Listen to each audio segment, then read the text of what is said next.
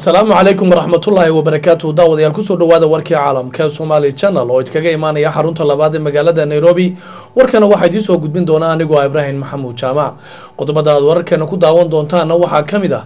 madaxweynaha dowladda kumeel gaarka ee soomaaliya oo ku eedeeyay xogaga alqaacida in ay doonayaan inay gumaysi geliyaan ummadda soomaaliyeed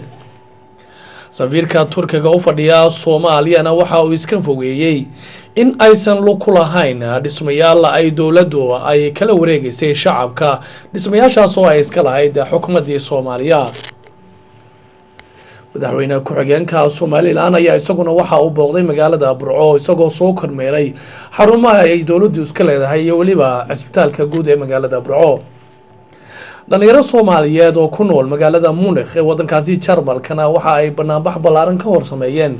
safaaradda wadankaasi ukraine ay ku leedahay magaalada munikh ee wadankaasi jarmalka. Qodobadayna dibadda aad ku daawan doontaana waxaa ka mid a waddamada carabta oo iyaguna arrinta syriya kaga arrinsanaya magaalada qaahira ee wadankaasi masar. Iyo sidoo kale banaanbaxyo ballaaran oo ay boolisku kala direen oo ay doonayeen in ay ka qabsoomaan wadankaasi baxrayn qodobadaas iyo qodobo kaleba daawadayaal. Waxaad ku daawan doontaan warkeena balse marka hore qadar yaro adeega bulshada.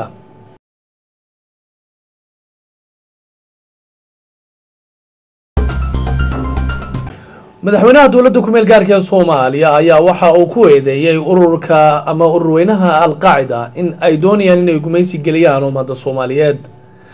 Kadib markii dhowaan xogaga al-shabaab ay shaaciyeen in ay si buuxda ugu biireen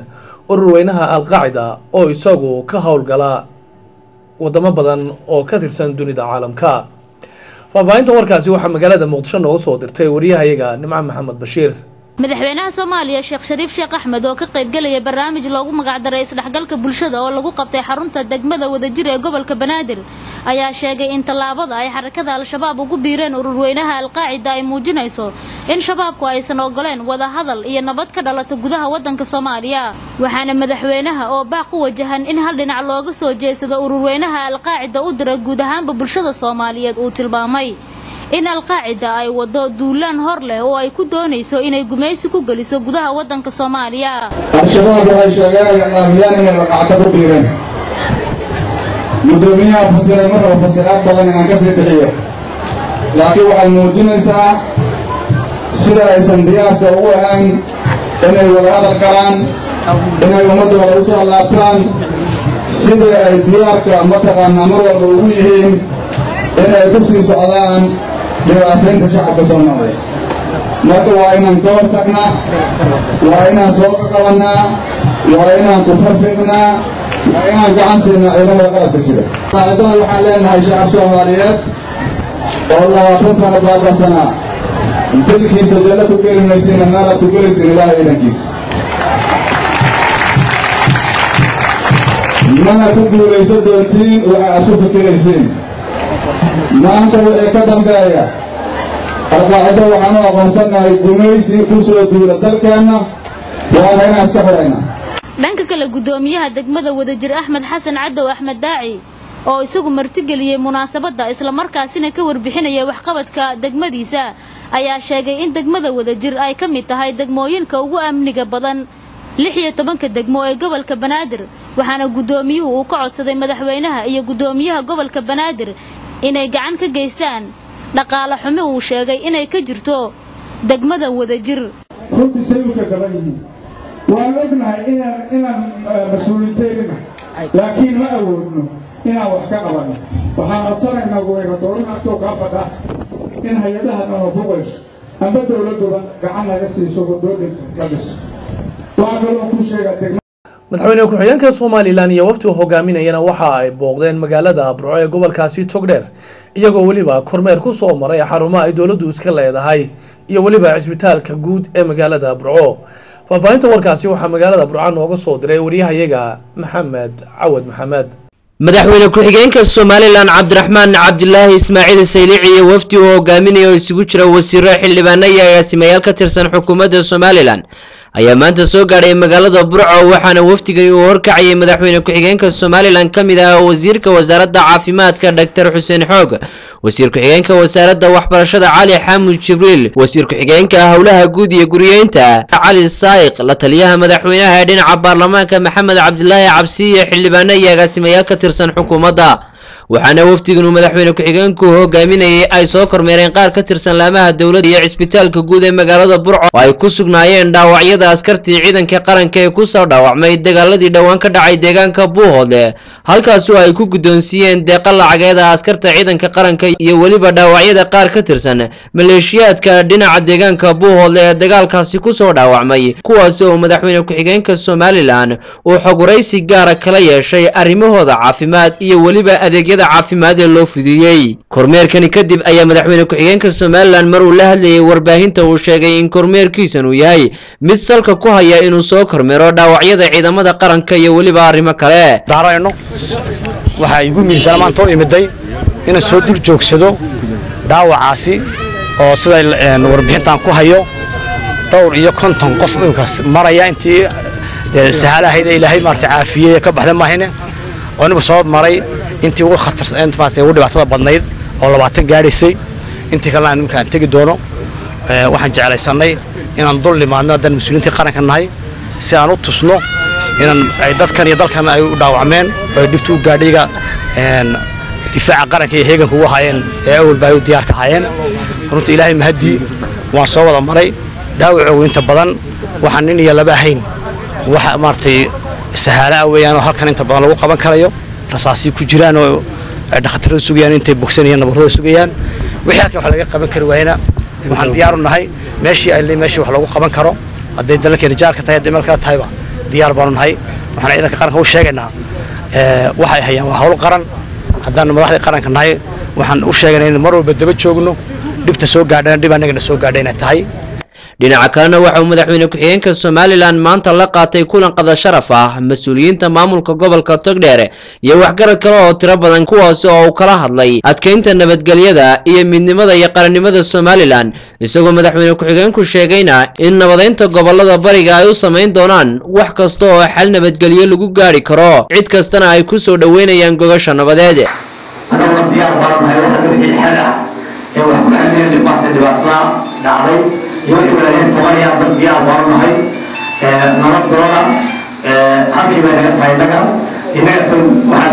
baahannahay gacmuujoga gooyaan gudoomiyaha gobolka togdheer cabdo axmed aayir ayaa isaguna madashaasi ka hadlay ayaa u soo bandhigay xukuumadda somalilan. Baahiyaha ka taagan gobolka togdheer iyo sidii ay xukuumaddu gacan weyn uga geysan lahayd ugu dambayntiina waa markii ugu horreysay ee mas'uuliyiin ka tirsan xukuumadda somalilan ay soo kormeeraan qaar ka tirsan dhaawacyada dagaalkii dhowaan ka dhacay deegaanka buuhoodle maxamed cawad maxamed telefishinka caalamiga ee somaali channel burco maamulka xerada barakacayaasha buula bacley ee magaalada gaalkacyo ayaa waxay ka cabanayaan dhibaatooyin ka soo gaaray dagaalo dhowaan ku dhex maray xaafad ka mid a magaalada gaalkacyo dad iyagoo halkaasi wada degaa sida uu faahfaahinta warkan uu ku eegayo waryahayaga xasan xuseen xasan cabasho aad u ballaaran ayaa waxa ay ka imanaysaa dadka barakacayaasha ah ee ku nool xerada barakacayaasha ee buulabacley ee magaalada gaalkacyo. Dadkan ayaa waxa ay ka cabanayaan dhibaato aad u weyn oo ay sheegeen in ay kala kulmeen. Dagaalo laba maalmood socday oo u dhexeeyey laba beelood oo walaalo ah oo wada dega xaafadda horumar ee magaalada gaalkacyo. Dadkan barakacayaasha ah ayaa degan meel u dhaxaysa halka ay ku dagaalamayeen labada beelood taasna waxa ay sababtay in ay xabadaha ay isweydaarsanayaan labadaasi beelood ay guryaha ugu soo gasho dadka barakacayaasha ah. Taasna waxa ay sababtay in ay dadkaasi qaarna dhintaan qaarna ay ku dhaawacmaan xabadahaasi. Kadibna waxa ay dadkaasi isaga qaxeen xeradaasi. Maamulka iyo odayaasha xerada barakacayaasha ee buulabacley ayaa maanta waxa ay soo booqdeen xarunta Somali Journal ee magaalada Gaalkacyo. Waxa ayna halkaasi ka soo jeediyeen cabasho aad u ballaaran oo ay kaga hadlayaan dhibaatooyinka ka soo gaaray dagaaladii u dhaxeeyay labada beelood ee walaalaha ah ee wada dega xaafadda horumar ee magaalada Gaalkacyo. Xasan Xuseen Xasan Somali Journal Gaalkacyo. Xogayaha dowladda hoose ee magaalada berbere gobolka saaxil cali maxamed cilmi ayaa isaguna waxa uu sheegay in ay gebi ahaanba dowladda hoose la wareegi doonto dhulka aan la cashuuran ama aan la dhisin ee ku yaalla magaalada berbera faahfaahinta warkan waxaa magaalada berbera nooga soo diray wariyahayaga maxamed cabdulaahi soo fadhiiste xogayaha dowladda hoose ee magaalada berbera cali maxamed cilmi ayaa maanta shir jiraayad oo uu ku qabtay xafiiskiisa. Digniin culus u diray cid kasta oo dhul sharciyeysan ku leh magaalada berbera iyo cid kasta oo ku leh guryaha qadiimiga ah ee magaalada berbera ku yaalla xogayaha dowladda hoose ayaa sheegay in ciddii dhul sharciyeysan leh ee aan bixinin cashuurta dowladda hoose ee muddo ugu badnaan laba sanadooda lagala noqon doono dhulka oo ay maamulka dowladda hoose dhulka ka qaadi doonaan sifa sharciga waafaqsanna looga qaadi doono. Waxaa kale oo uu sheegay xogayaha dowladda hoose ee berbere cali maxamed cilmi inay berberi tahay magaalada keliya ee dhulka dowladda ay gacanta ku hayso dowladda hoose ee berbera. Taasina ay tahay mid ay kaga duwan yihiin gobollada kale ee somalilan magaalada berbere cali maxamed cilmi oo digniintaasi u diraya bulshada reer saaxil. Maanta way bishu tahay bishii labaad labadii kun iyo labaiyo tobanka. Labiyo labaiyo tobankii bishii february labada kun iyo labaiyo tobanka. Halkan waxaanu dadka ugu sheegaynaa berbera kule dhulka. Ama daari hore qadiimigaha annagoo tifiyada iyo jaraa'id kale ku celcelin doona si qof walba ay cilaanka u gaadho. Berberisaa og tihiin waa meesha keliya dowladda dhulka gacanta ku hayso. Oo maanta qofka muwaadinkii haddii uu yidhaahdo halaysyado ay dowladdu si sahlan u siin karto. Ee uu dhulku gacanta u jiro magaalooyinka kale saa og tihiin. Waxa weeyaan dee waa beero dad kale ama dadka dad weynu dacan gacanta ugu jira. Wax dan guud looga gooyo mooyaane laakiin dhul fidsan oo ay dowladdu hoose gacanta ku haysaa ma jirto. Laakiin berberi nasiib wanaag waa meesha keliya aan dowladda aanay ka gacan bixin dhul. Qofka muwaadinkee doonaya inuu dhistana la siin karo. Sidaa darteed magaalada iminka dhulka baxsan aada iyo aada u badan yahay fifteen kilomitr meelaha qaar baa gaaraya ilaa iyo toban kilomitr marka laga qaado halkii hore magaalada ku joogtay inkastoo dhismayaasha qaar ay fideen oo meelo fogfog laga dhisay. Waxaanu maanta iclaaminaynaa haddaanu nahay maamulka dowladda hoose. Sharcigu sida uu dhigayo qof kasta go'aankiisa waxa ugu yaalla inuu muddo laba sanadood ugu badnaan uu qofku ku dhisto dhulka cashuurta dowladda la iska bixiyo waxaanu sheegaynaa qofkii dhaydkaasu ka dhaco. Muddada go'aanka ugu qoran qof walba go'aankiisa uu og yahay dhulka la siiyeyna uu og yahay in dowladdana cashuur siinin dhulkiina haddii miduu ku qoran yahay inay dowladda hoose kala noqon doonto dhulka ama jagooyinka ku yaalla magaalada berbera ayaa intooda badan ah qaar seesan oo aan dhismayaal ka dhisnayn. Taasina ay tahay midda keentay inay maanta digniintan soo saaraan maamulka dowladda hoose ee magaalada berbera. Maxamed cabdilaahi soo fadhiistay t v-ga caalamiga ee somaali channel magaalada degmada quljeed oo noqon doonta degmo cusub oo ka tirsan gobolkaasi awdal ayaa waxaa loo qabtay xalfad si weyn loo soo agaasimay xafladan ayaa waxaa ka soo qayb galay wasiiro siyaasiyiin iyo weliba culimaa udiin haddaba xafladaasi waxaa ka qayb galay wariyahayaga cabdifataax axmed xafladan sida weyn loo soo abaabulay maanta waxay ka dhacday deegaanka qulujeed ee gobolkan owdal waxaana maanta loogu wanqalay inay deegaankaasi qulujeed ay noqoto degmo hoos tegi doonta gobolkan owdal munaasabadan waxaa ka soo qayb galay wasiirka dibudejinta iyo dibudhiska somalilan xildhibaano ka kala socda golayaasha wakiilada iyo guurtida ee somalilan salaadiin waxgarad siyaasiyiin maamulka degmada boorama iyo maamulka gobolkan owdal munaasabadan waxaa ka hadleen mas'uuliyiin kala duwan oo madashan ka soo qayb galay kuwaasoo marka la isku soo aruuriya hadaladooda ay ku soo biyashubanayeen taageero xoogan oo ay u jeedinayaan degmanimada degmada qulujeed oo maanta loo wanqalay. Badan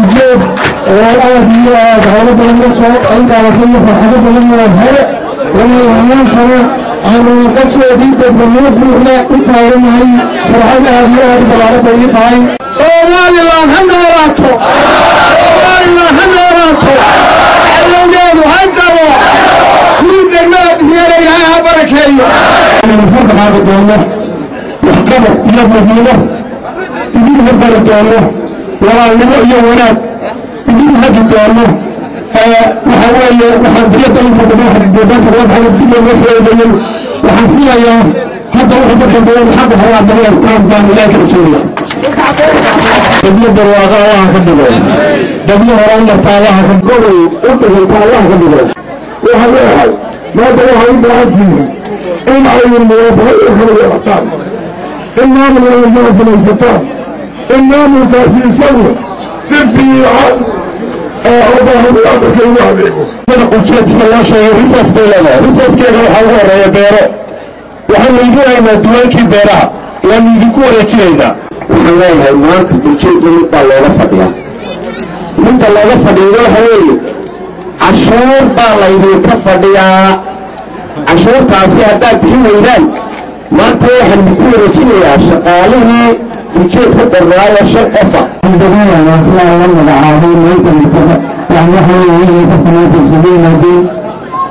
Magacaabay aanan ku waalidnimada intaan isugu yimaanayay degmada hujeed waxay ka mid noqotay gobolka awdow degmooyinka ku soo fandan ee muddada dambada magacaabay degmada hujeed waxa la magacaabay afar iyo tobankii bishii lixaad laba kun iyo tobankii degmadnimada hujeed waxaa jira degmooyin kale ay ka mid yihiin bool xareerad garbadadan oo sanagii awda ka mid a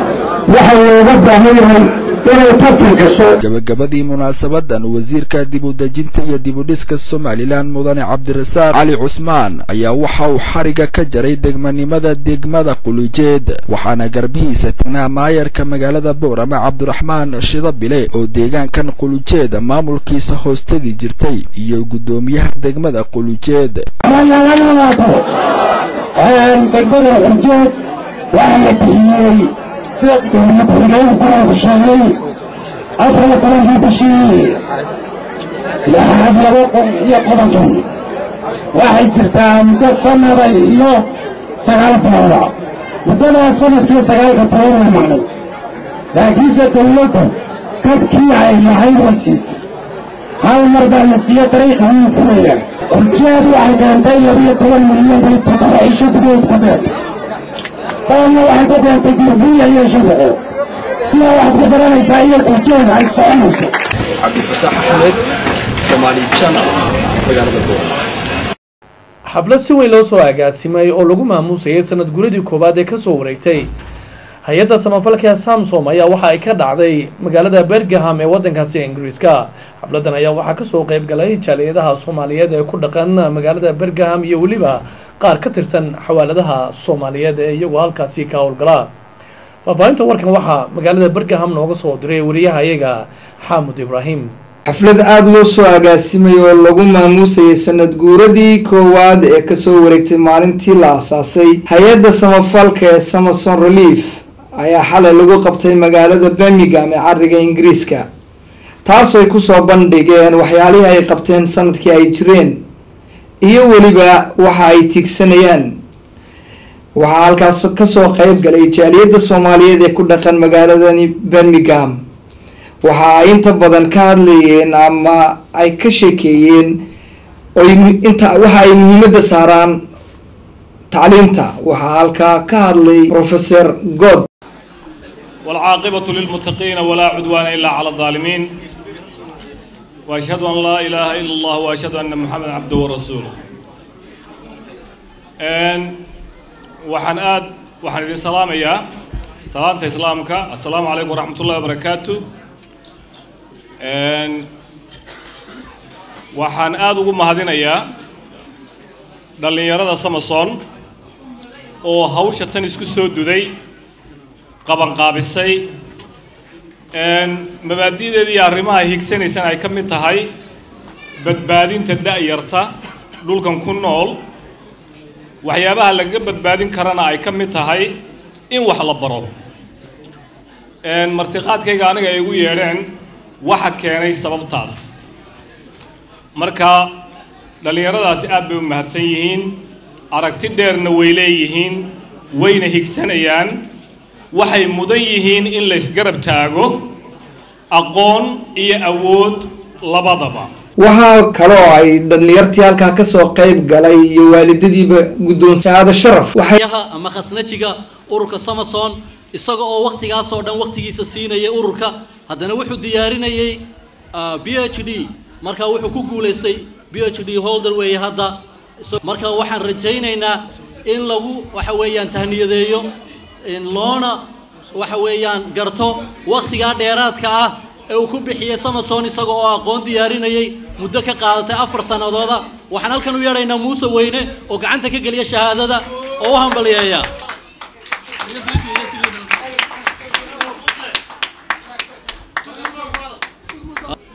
waxaana ka codsanaynaa masarqayaad inuu hal kelmo jeediyo. Waana kan ku soo dhow masarqayaad soomaali aad baad u mahadsantihiin dhammaantiin. Samason relief iyo dadkii martida u ah. Waxaan niga codsanayaa oo quraata inaad ku dadaashiin contributionka inaad bil walba waktigeygaad ku bixisiin oo markaa waxaan rajaynayaa inaad aad iyo aad ugu dadaashiin inaad standing orderka xagga dibadda yaalla inaad ii saxeexdiin intaanan weli saxeexin waadna ku mahadsantihiin wabilaahi towfiiq wasalaamu calaykum waraxmat ullaahi wabarakaatu xaamud ibraahim somali channel birmingham. Tartan ballaaran oo ah tartan kubadda cagta ayaa waxa uu ka furmay caasimadda gobolkaasi hiiraan ee magaalada beledweyne. Tartankan ayaa waxaa ka qayb qaadan doonaa ilaa labaatan kooxood taas oo looga dan leeyahay in dib loogu soo nooleeyo cayaarihii kubadda cagta ee gobolkaasi hiiraan faahfaahinta warkaasi waxaa magaalada beledweyne nooga soo diray wariyahayaga cismaan aadan carays kulamadan isboorti ee ka furmay magaalada beledweyne ayaa waxaa soo abaabulay guddiga isboortiga gobolka hiiraan uu warkacayo guddoomiyaha olombikada gobolka hiiraan cabdikariin xasan cabdulla qalaad iyo guddoomiyaha qabanqaabada isboortiga gobolka hiiraan cabdidhuux xasan shiino iyo tababare maxamed raaxeye iyo cagaweyne oo iyaga ugu horrayntii ka warbixiyey ulajeedada tartankan isboortiga ay ugu bilaabeen magaalada beledweyne kaasoo ay ku tartamayaan labaatan kooxood oo ka dhisan gobolka hiiraan sidaa ujeediinba hadda maanta waxaa inoo furmay koob oo horyaal oo lagu macdaro kulmiskaab koobka waxaa ka soo qayb galay kooxooyin gaaraya ilaa labaatan kooxood. Waa tartan oo degmada loogu talagalay loo qabanaya sanad kasta mar oo lagu dhiirigelinaya sportiska degmada. Si loo kor loogu qaada tayada ciyaartooyda degmada joogto waxaa mahadda iskale ilaahay ka sokow dhalinyaradii oo reer hiiraan ay joogto jaalida south africa ayaa hiri bismillaah halkan waxaa noogu bilaada maanta koob qiimo aad u sarreeyo leh koobkaas oo ugu talagalnay in bulshada reer hiiraan ay isku dhex gasho annaga oo qiimeynayn dhallinyarada waxtarkooda iyo waxqabadkooda iyo kumiskooda ayaa halkaas loogu bilaabay insha allah waxaan ku dhammaynaynaa guul insha allah kadib koobkan la yidhahdo kulmiskaab waxaa fikradeeda hadda lahay oo macnaha oo oo horumarinayay guddoomiyihii hore isboortiga gobolka hiiraan xasan maxamed kaysane iyo cali sarreyn nima la yidhaahdo rag badan waa kolley tabo kulmis group la yidhaahdo insha allah koobka waa furna maanta waxaana waxaana kooxaha ugu horreeya dheela ay keliyihiin hillaac iyo kooxda xidigaha labadaba waxay ka dhisan yihiin wadaag koobkan waxaa loogu talagalay afarta xaafadood ee magaalada beledweyne. Iyo dhammaan kooxaha beledweyne ka dhisanoo idin si loo helo xul matali doona cayaaraha gobolka waxayna ka kooban yihiin labaatan kooxood. Insha allah waxaan rajaynaynaa hadda kadib inaan sportiska aan u soo jeedsano aan horumarino. Dadka dhallinyarada oo heer hiiraan oo qurbaha joogtana waan soo dhaweynaya sida sharafta leh micnaha ay hadda ugu soo jeesteen gobolkooda haddii ahaan la dhinaca waxbarasho iyo haddii ahaan la dhinaca sports لأن رضا أيامتان تقرارو إسكجري وحدرتان إسكو إمادين إن شاء الله تعالى إن أول شيء واحد قم هذين إن سبحانه وتعالى. طلباتنا إن شاء الله تعالى باب الكيل لأن رضا ما دام إسكو فهمين سيدة قبل خور مرء وقبل الله هايين أدام قبل الله ذكالات ماد إن إن أو كجرو إن هور مرء إن نكا كبدا نعم. عكتا نكا سبعة تسيدة عيارتو إذا حتنا إسكو إمادين لأن رضا سيدة قبل كي كرو وقادل هايين وقال كي وبغل إله سبحانه وتعالى إن قم هذين إن طلباتنا إن شاء الله تعالى. لأن رضا سؤال أستين سيدة كالات وإن وأن مهد علين إن tartankani kubadda cagta ee galabta ka furmay magaalada beledweyne ayaa waxaa lagu furay ama isaga hor cayaartii ugu horreysay kooxa xidigaha iyo hillaac oo iyaga soo bandhigay cayaar ay aad u jeclaysteen ama xiise gelisay dhammaanba ka soo qaybgalayaasha isugu soo baxay garoonka isbartiibo ee magaalada beledweyne. Cayaarta oo aad u xiiso badnayd ayaa waxaa guusha ay ku raacday cayaartooyda ku cayaaraysay magaca kooxda xidigaha oo ugu awood sheegtay kooxda hilaac afar iyo labo iyadoo maalinta birita ay wada kulmi doonaan cayaartooyda ama kooxaha kale ah kooxda ajibka city iyo doonka oo ay ka dhexayso xafiiltan aad u ballaaran. La arki doone ciddii ay guusha raacdo maalinta birita oo lagu ballansan yahay cayaarta ay wada kulmi doonaan kooxda ajibka iyo doonka iyadoo labada dhinacba saxaafadda ay u soo bandhigeen inay markaasi ay guushu ay hanan doonaan. Tartanka kubadda cagta ee ka furmay garoonka isbartiiba ee ku yaalla bartamaha magaalada beledweyne xarunta gobolka hiiraan ayaa wuxuu yahay mid ay ku tartamayeen labaatan kooxood taasoo ay qabanqaabiyeen guddiga olombikada gobolka hiiraan si kastaba ahaatee waxaa ka soo qayb galay daawadayaal aad u fara badan oo ka kala yimaaday xaafadaha kala duwan ee magaalada beledweyne cayaartaas ayaa waxay ku soo idlaatay afar iyo laba ay guusha ku raacday kooxda xidigaha. Ismaan aadan calays tv-ga caalamiga somali journal beledweyne isla wararkii beledweynehan ku jirnaya suuqyada tooroboro iyo hurwa oo ka mid ah suuqyada ka jira magaaladaasi beledweyn oo maalintii shalay ahayd dagaal culusi uu ka dhacay ayaa gebi ahaanba degan faahfaahinta warkan waxaa mar kale eegaya wariyahayaga cismaan aadan carays. Xaalad deganaasho ayaa laga dareemayaa suuqa toolaboro ee suuqa huruwa ee dhinaca galbeedka magaalada beledweyne xarunta gobolka hiiraan halkaasoo maalintii shalay dagaal xooggan uu ku dhex maray ciidamada maamulka dooxada al-shabeelle iyo ciidama taabacsanaa xarakada al-shabaab siduu hadalka u dhigay kusimaha madaxweynaha maamulka dooxada shabeelle isaaqa cali cabdalla oo isaga sheegay in marka aysan jirin ciidamo dawladda halkaasi ay kula dagaalameen balse uu carabka ku dhuftay inuu halkaasi ay kula dagaalameen ciidamo taabacsanaa xarakada al-shabaab. Waa siduu hadalka u dhigay. Sideed saac meelahaasuu bilowday si kelis ayuuna ku bilowday. Xaqiiqatan dagaalkaas wuxuu ku bilowday fariisimo ay ku leeyihiin ciidamada dooxada shabeelle dhanka galbeed ee magaalada beledweyne ayaa si kedisa loo soo weeraray. Ciidamo si qarsoodi ah u soo galay magaalada ayaana soo weeraray oo al-shabaab ah ciidamada argixisada caalamiga ee al-shabaab. Beedka magaalada beledweyne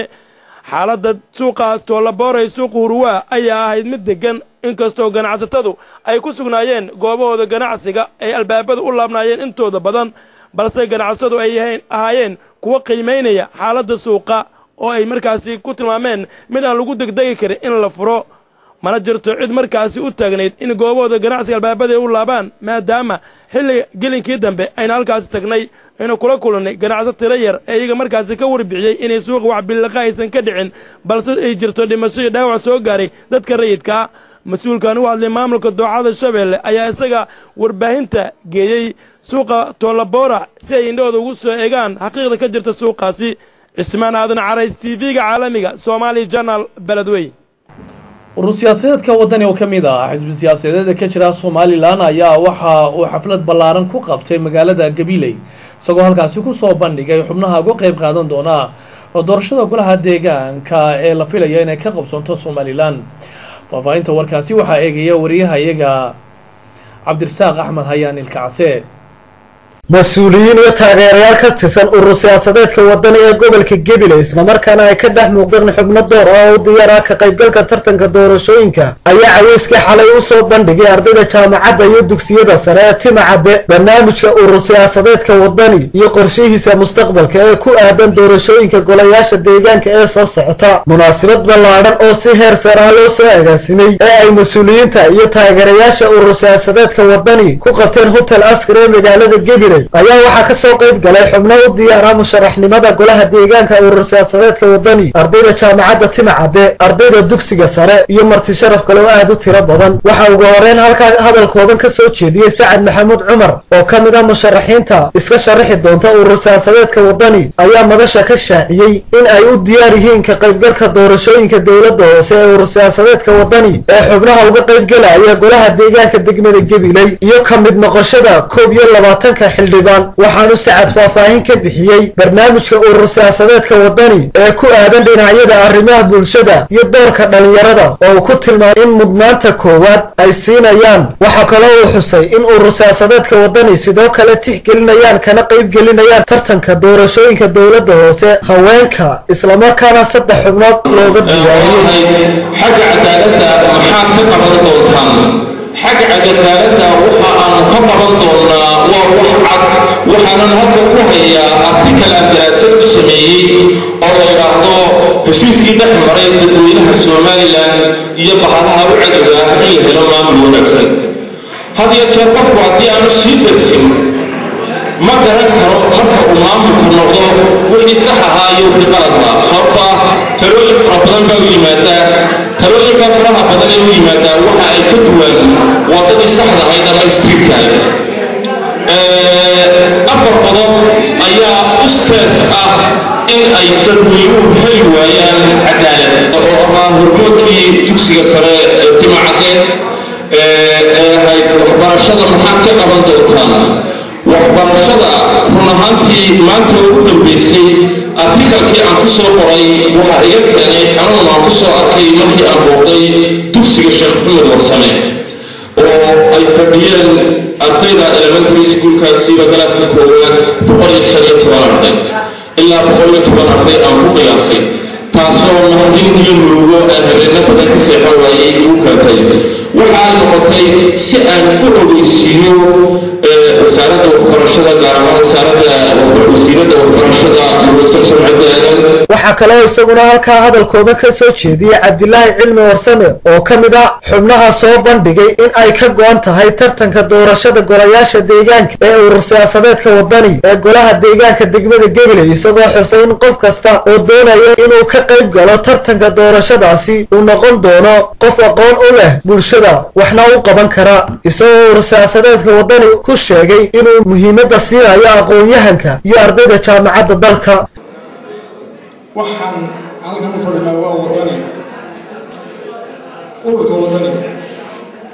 markaa horta kaliba qofba wuxuu u raacaa ururkaa wax ma qabanayaa oo dalka wax ma u qabanayaa dadkase wax ma u qabanayaa nabaddase wax ma ka qabanayaa. Marka annagu waxaan isniri dalka iyo dadkaba wadani wuu anfici karaa ilaahayna hala qabto. Waxaa kaloo ka jawaabayaa su'aashii ardayga. Wadda degmad kasta waxay leedahay koob iyo labaatan waxaanu u talagalay saddex gabdhood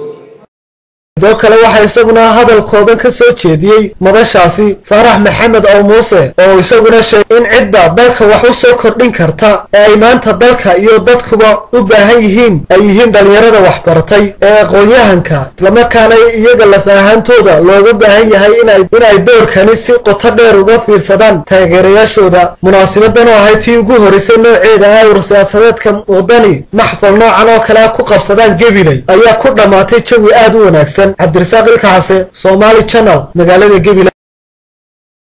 booliska baxrayn ayaa iyaguna waxa ay kala eryeen banaanbaxayaal xus banaanbaxa iyagu raba inay ka sameeyaan wadankaasi baxrayn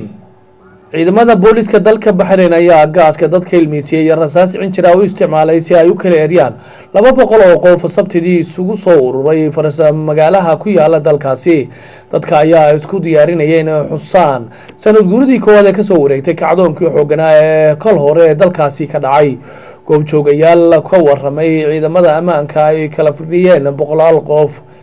dhinaca kale ciidamada booliska ee baxrayn waxa ay xidheen oo dalkaasi ka mustaafuriyeen laba samafalayaal ah oo maraykan ah oo la sheeqeynayay hay'adda xuquuqul insaanka labadan qof ayaa loogu kala magacaaba huwiyada araf iyo weliba radika sanija. Labadooduba waxa ay haysteen dhalashada maraykanka. Waxaa lagu soo waramayaa in labada qofa dalka laga tarxilay si ay ku waramayaan ilo u dhowdhow dowladda